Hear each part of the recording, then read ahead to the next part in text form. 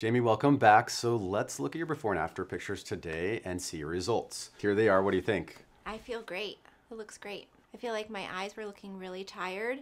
Um, I'm 42. I, am a mom of two, and I'm a celebrity hairstylist, so I work a lot. And I was feeling really run down and tired, and I feel a lot better now.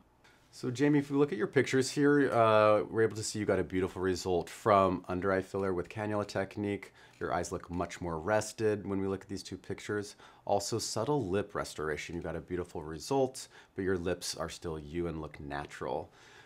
Lastly, um, we utilized our lateral tacking technique to restore bone loss to the cheek to pick up the tissues that sit here below. Okay, Jamie, now that we have achieved the goals of your healthy aging plan, we want to maintain these results. Uh, there are a few different options we have to do that. One is with vitamin infusion therapies to slow down the aging process. Secondly, we have light therapy to stimulate collagen. And thirdly, we have PRP, which we can inject underneath the eyes to brighten the eyes and increase the longevity of your fillers. So going forward, if you have any questions, your patient care coordinator is your point person, your go-to.